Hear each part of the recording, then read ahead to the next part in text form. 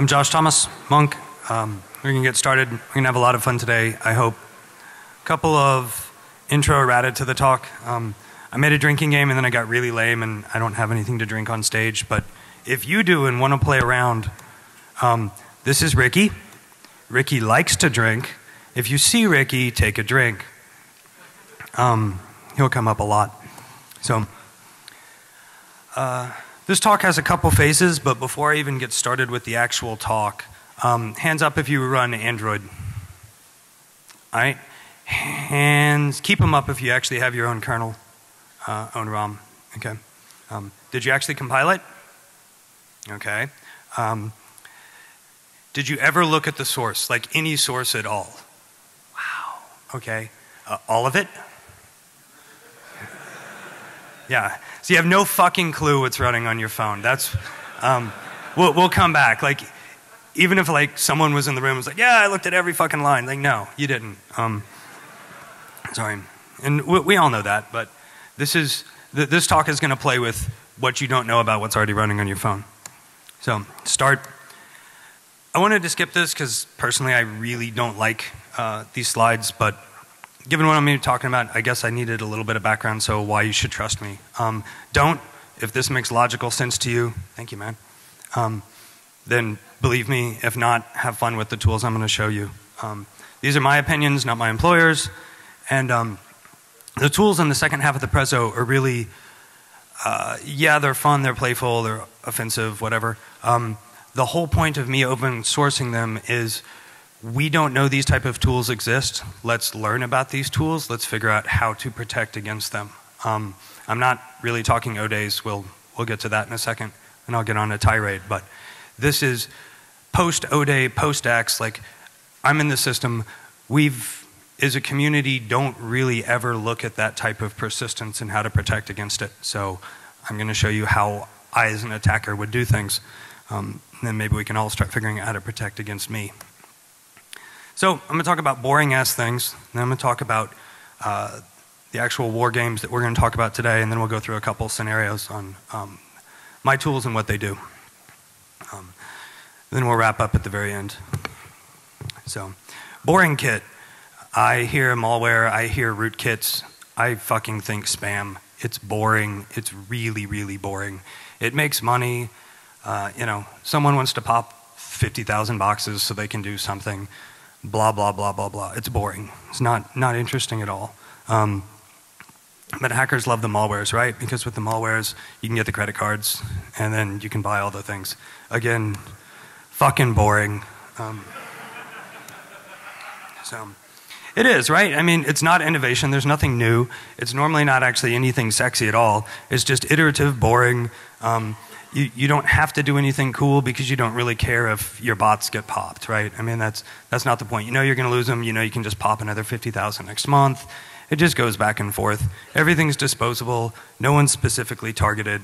Boring. Um, if you want to know more about that mentality, Mudge did a great keynote two years ago. Um, pretty much everything he's talked about since then kind of talks about that symbiotic relationship and how that's boring. Whatever are real fun. Um, for every game, we need rules, right? So what do we need? We need two players, we need game mechanics, and we need goals for a game.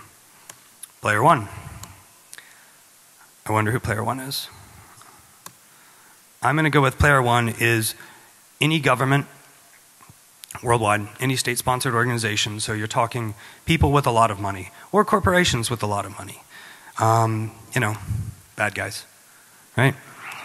Maybe more bad guys. Prepping for it. Maybe more bad guys. Player two.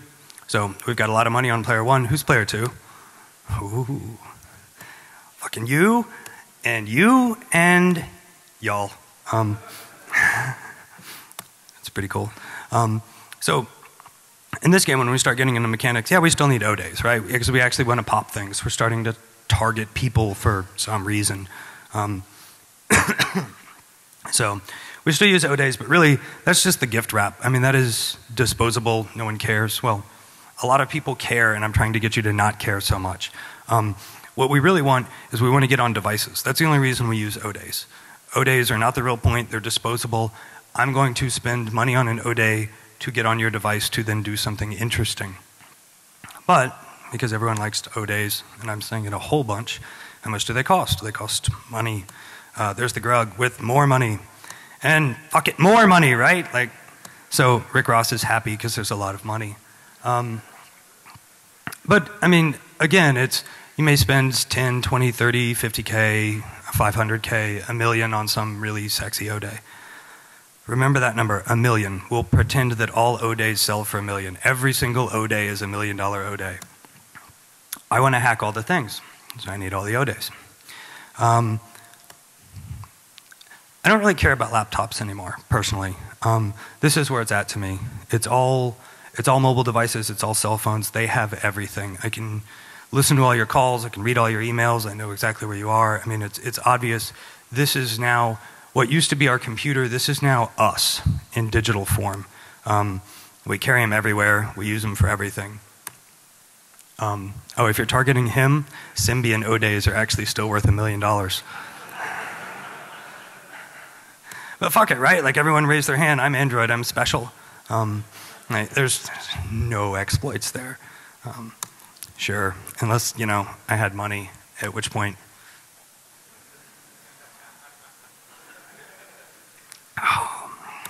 so we've got game mechanics for this type of world. What we're really doing is we're taking an Oday, we're jumping on the device. So what I care about is that kit whatever that implant is I'm putting on a device, that is, that's where the real money is. That's what's doing something. Um, and I mean, let your minds run wild. What would you want to do on someone's phone? You know, whatever that is, that's what you're doing. Um, doing that type of coding is boring. Those are just lame ass developers in cube farms cranking out code. Um, it's typical software. It's boring. It takes dev time. People have a real job. Um, but it costs money too. Typically, it costs a lot more money than an O-Day. Typically, it costs a fuck ton more than an O-Day. Um, as I mean, think about it, right? If you're trying to do something sexy, a million dollars for an O-Day, $20 million for whatever you're going to do. Which do you not want to lose? Especially if you know when you bought that O-Day it's got a shelf life. Um, what you really, really, really care about is protecting that, that large investment, not this disposable thing that you bought that, I mean, you know, maybe around two months, maybe around six months. Um, so we get a little more disturbed. That's okay. What do we want? We want all the data. Um, that's what your cell phone is. That's what I want. I want everything. So We've got all of our players. Let's have a game. Who's going to win this game? How long is it going to take? Very, very, very short. And I wonder who won. Yeah, they won. Um, every time. They, it's, no one is even remotely capable of writing the tools right now that can detect against advanced things. Because um, we're not looking at it. That's, we're still focused on malware and spam and all the boring shit. So, if I'm writing $20 million worth of code, I want to protect that investment. I want to protect it lots. I want to make sure that it's never found. I want to make sure that it's deep. Um, it's not something that's going to pop up on McAfee. It's not something that's going to pop up on the New York Times front page that we found X doing Y. Like, this needs to never, ever exist. So, um, again, because we kind of picked on him a little earlier, he, the, the Gruck actually does talk about quite a bit of these things, at least in a theoretical thing on Twitter, which is always kind of fun. But what we don't want is we never want our gear to show up, because that will make Rick sad. And we don't want a sad Rick. We want a happy Rick. So we're going to hide. We're going to hide deep. We're going to have a lot of fun hiding. Um, before I move, one definition, because I just tend to say it, and I've realized that not everyone knows what I'm talking about. So, if I say air to glass, what I mean is I'm coming off uh, CDMA, GSM, Wi Fi, I don't know. I'm coming from somewhere Bluetooth outside of the phone. I'm getting on the phone. Air to glass means I never touch storage. Um, so I've got an implant, it's in a device. You reboot that device, it's gone, right? It's got to be reinfected. Um, if you do something like that, though, you're pretty damn secure on the protection of your investment because unless someone can forensically forensically jump in there and grab things out of like RAM, volatile memory before they reboot, uh, you, are safe. Um, the problem with air glasses, I mean, you never know when you're going to lose your implant. That sucks. Um, and you've got limited space, right? If you don't want to start interacting and being obvious that there's something wrong with the phone. So, war game one, let's move away from air to glass. How can I get something on disk and hide it to where no one can find it? So, this is the Nandex project. Um, this project was originally funded by DARPA's Cyber Fast Track. Um, awesome, awesome, awesome project. The goal of this was, you know, how can I do a proof of concept for offensive work, and then how can we take that and try to defend against it? Um, so I'll do my demo.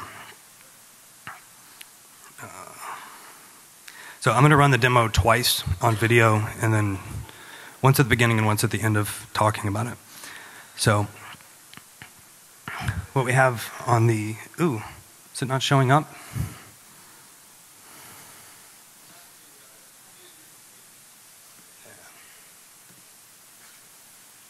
Cool.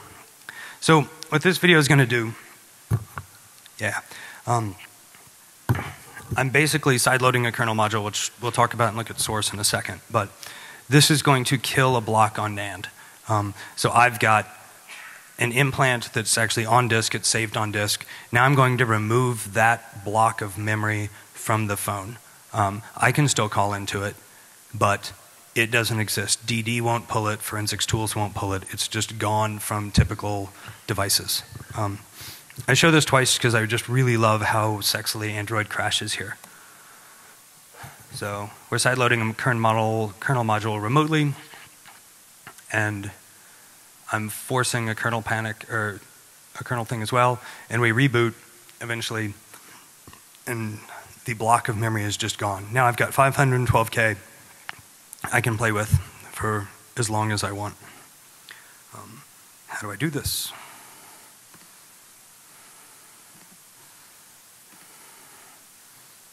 Sweet. Um, how NAND works. Let's start there. Um, so NAND is very complicated. You've got little bitty buckets that hold an electron. If there's an electron in there, you've got a 1. If there's no electron, it's a 0. That's basic binary. That's how this hardware works. Um, EEs decided to say, hey, these little buckets that hold one bit need to be organized into pages. Those pages are then logically created into blocks. Blocks are pretty easy to deal with. It's what you're normally dealing with if you're writing drivers at a block level, or I mean, it, it's it's easier to latch onto for us as security and software guys, right? So blocks typically half a meg. Um, when you wipe an AND, everything gets set to ones. The reason everything's FFs is there's an electron in every little bucket. Um, then when you're actually writing data to NAND, you start popping electrons off. You get a zero, so you kind of sculpt, um, sculpt your data in NAND. But that's trapping individual electrons is hard, right? So the hardware wears out, it dies over time. I'm taking advantage of that, the same way that the designers of the hardware take advantage of that. What they do is they know it's going to die. They know it's going to die after 10,000 to a million writes, um, that little bucket. So they build in tools to gracefully fail. Um, they have a threshold of I can detect so many bits aren't writing when I want them to. Once I go past that threshold, that block, block is marked bad. It's never used again. Um, the kernel doesn't see it, the driver doesn't see it. It's just there's a bit that gets flipped saying I am bad and it's never touched again. Anything that goes through the driver, the very first thing in the driver code goes, is this block bad? If it's marked bad, the driver just says no, it's not there. Um, so that's handled in the bad block table, which um, is typically stored on NAND itself, right? So NAND actually has a table somewhere saying, you can trust this block, you can't trust this block. Um, in NAND, there's, there's two types that we see. Typically, we see managed NAND, which has a little embedded controller where all that logic goes. Um, on some NAND, like Sony phones, that's actually built into the kernel. The kernel deals with it. Um, for how NANDX works, it's really irrelevant where that code is. The code that's open source on GitHub is attacking the raw NANDs just because it was easier to stay in kernel land. Everyone kind of gets that better. Um, raw NAND has a very complicated driver because it's got to do all this wear leveling and all this bit checking and ECC values and whatnot. Um, wear leveling is proprietary and closed. We don't really care about for this. Um, I go into way more detail in other talks, so if you're interested in this deck, it's also online. Um, but we're going to attack the MTD subsystem, which is like this super epic, massive driver for Linux that a ton of things are run through. Um, I'll attack it again in a little bit. But for NAND, it manages how everything's working. So we can get into that driver and start arbitrarily saying this block's bad, uh, but go ahead and let me write data to it. Go ahead and let me read from it again. Let, let, let's just make sure no one else can but me.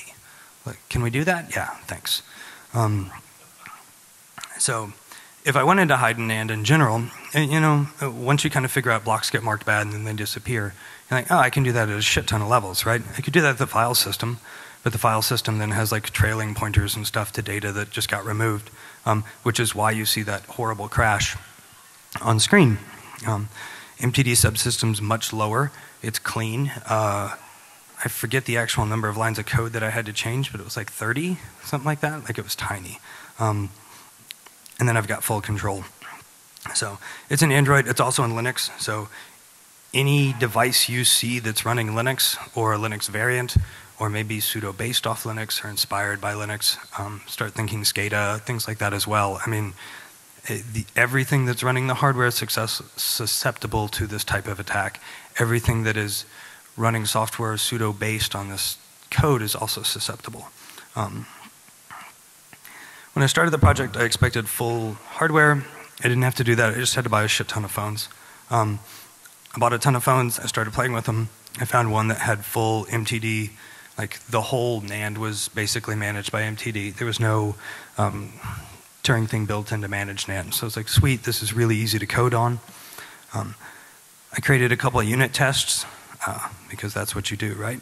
So I created a unit test that basically just killed um, arbitrarily read and, write, read and wrote data to a block of NAND, marked it bad, checked that nothing else could see it, um, and then read and write again.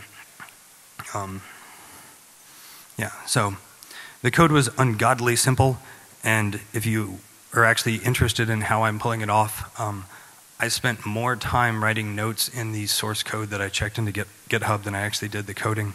Um, it's, I, I, tried to just walk line by line of exactly how everything works. But in a nutshell, I'm grabbing a block, I'm erasing it, writing dead beef all over it, I'm making it disappear from the system, writing dead beef again, and then reading it back out just to kind of show that we've got full arbitrary control.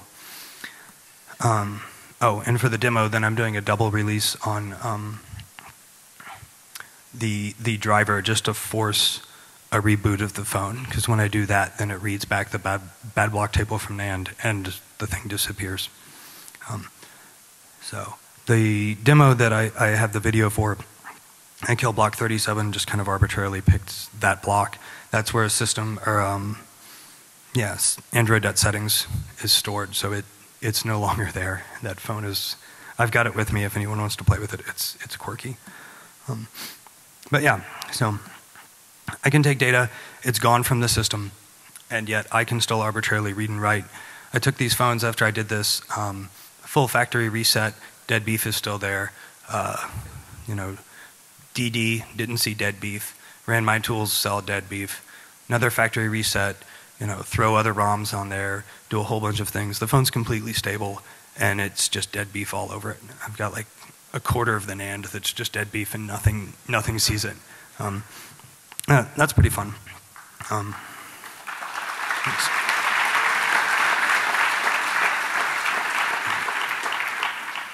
so, since I'm running a little fast, um, one of the other fun things you can do with this is I'm making drives disappear half a meg at a time. Um, and after half a meg, I'm, I'm forcing a reboot, but you don't have to. You can just disappear the drive under the OS. Um, you can disappear the whole damn drive and nothing can recover that that device at that point. It's just gone. Um, when you start talking cell phones, it's like, dude, that fucking sucks. It's like that's like 600 bucks and it's inconvenient. You get pissed off. Um, if that's SCADA, like that gets scary real quick because um, it's remote. I don't care if it's remote. I mean, and it's not it's not patchable. Um, you can't recover because there's no drive there. Like the hardware goes no, dude. There's no storage space left, and um, it's just dead. You've got to replace the device. So, um, yeah. Uh, so that was the first. Cool. Yeah, and it's all on GitHub if you want to read about it. Um, I've got links, but it's basically my name and then Nandex. I've got a paper that goes into great, ridiculous detail on how NAND works, and then a bunch of source code and the presentation. And I mean, it's it's, it's out there. Um, there's no fix that I can see, so you know, since this is kind of a, an offensive for defensive type of a talk, if you can think of a better way to protect against this, I'd love to hear it. I really would, because um, it's it's based off an assumption that the guys that originally sat down with pen and paper on a napkin and figured out how NAND would work, they made an assumption that it had to fail. Um, and I mean, the hardware is based on that. The hardware is built on that assumption. The software on top of it's built on that assumption. And there's nothing that can keep me from taking advantage of that. So as long as there's NAND around, we can hide. And we can hide deep. None of our tools can pull it out right now. Um, any tool that you can start kind of thinking about how I could protect against this um, starts failing real quick. Um, like, yeah, I can wipe everything on boot that's in a bad block table. Not really. Um, you can't validate that since blocks do go bad, how do you validate that, that you wiped it or not? I mean, and if I'm at that low of a layer, I can just block it anyway. So that was Nandex. Uh, second project I'm working on is clock locking beats. What this is looking at is like, okay, I'm hidden on disk. That's cool. I still have to run at some point. I want to be able to run and never have a user be able to tell that something's going on. You know, I mean, obviously you like don't want your thread showing up and things like that. Eh, that's great, but what if I want to go deeper? What if I want to make sure that the kernel just has no fucking clue that anything's running? What if I want to make the kernel have no ability to even see that. So, clock locking beats is looking at taking a running operating system and slightly tweaking the processor by overclocking it. And then outside of full kernel space, like in, in hardware damn near, um, I'm injecting a second process. It's a thread that runs outside of the kernel that I manage myself. Um, that thread runs my kit. So no tool that you would write that's running in kernel space remotely has permission to even see me. Like I, I just don't exist. Um, I can reach in, but it can't reach out because it, it doesn't know I'm there and it has no ability to know I'm there. Uh, that project is at the very beginning and it will be on GitHub, I promise, as soon as I'm done. Wow, I'm going to finish so early. Um, whatever. Um, burner, this is the really fun one. So, like I said, I've got 20 million invested in whatever kit I'm shoving onto a device. Uh, I'm actively monitoring that. I know it's getting ready to get found. I know that it's going to, my phone's going to be in someone's hands that's going to do a forensic deep dive. Maybe I don't have all that much faith in Nandex anymore. Uh, maybe someone's figured out how to get rid of it. Maybe there's other tools. Um, I want to make sure that nothing that I have on there gets out. So I want to set the phone on fire remotely. Fuck it, why not, right? Um, so, and I want to do this all from the kernel. Um, this will be, this project um, will be on GitHub probably within about a month and a half. Um, I really wanted to demo it, but I swear to God, it's the lamest demo ever. It's like side load kernel module, phone turns off. Like, that's it, right? Like, it's hard to show it never boots again. Um, what it does internally is uh, I'm playing with all the voltages that run internal to the phone. So I can target specific pieces of hardware, like the chip, or the NAND, or the baseband, and just start dumping a lot of power to them and fry them. Um, and this seems to universally uh, work on almost every Android phone I've poked at um, in the runtime of this project, which is pretty much probably what you have in your pocket. So I can attack and kill your phone dead. Um, make sure that it will never turn on. The only way to ever pull data off of it at that point would be to take it apart, desolder the chips, and like put the NAND in a reader. Like maybe you can find me then, but that's that's it. Um, so now we've hidden, right? Like I, I I feel good that with those, th those three projects together, you're probably not going to find any code that I'm running at all. Um, how do we combat against that? Like us as, as users and hackers, like how do we make sure that shit that that deep just doesn't happen to us? Um, I'm open sourcing everything. Like that, that, that's my solution. Is at least if I can think of these, someone else can. If I can open source them, hopefully at least we start talking about it. Maybe we start looking for things like this. And at that point, we're at least a little, we, we at least know where to look for security because we're not right now at all. Um, and maybe it'll make us work a little harder. So I felt pretty good about this. Um, I was like, yay, I'm awesome. Um, and that's pretty much it for me. I'm ungodly early, but I'd love questions.